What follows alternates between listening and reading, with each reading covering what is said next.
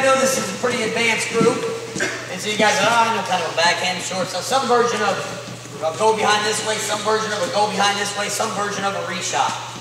I know you guys know, you guys all know front headlock, you guys know some of that stuff, so we're not quite necessarily taking care of the details. You know, you really got to open up on the details here.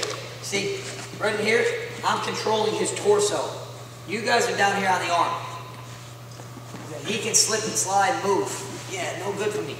And here, he's not going anywhere. I'm locking myself in right here how I want. Because I'm in here, deep in that armpit. Okay? Go ahead and circle up. Circle, circle, circle, circle, freeze. Too many people stepping straight forward. Look at this toe. Too many people stepping straight forward. What's this guy doing? Slow, slow, slow. Come back, come back, come back. Right? So I step here here. He keeps circling. I lose the whole thing. Too much space. That's why that detail of turning that toe, turning that toe, boom. So now when he circles, he's circling into me. He's circling into me. But it's a turn of the toe. The turn of the toe. Boom, here.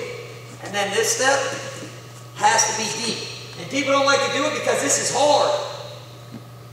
But he can't go anywhere now. I control his hips. Now it's easy to run through. Now it's easy to run through. So those are a couple little details. Details win titles. Okay, details win titles. One, two, three.